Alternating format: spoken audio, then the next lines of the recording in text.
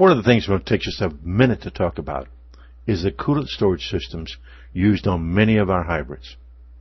The idea of storing hot water is to use it for short bursts of heat for the passenger compartment and to preheat the engine so it gets a quick startup on cold weather and stays minimum time before it goes into closed loop.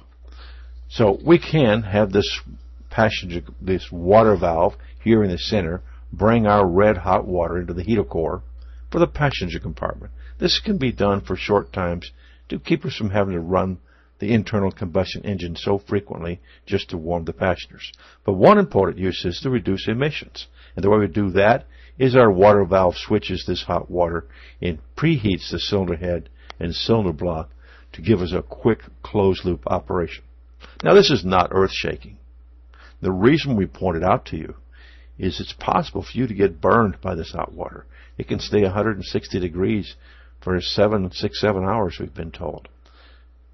What you should do, if you do any servicing on this, is there's a petcock at the bottom of this so you can drain this hot water safely so that you prevent any burns to yourself.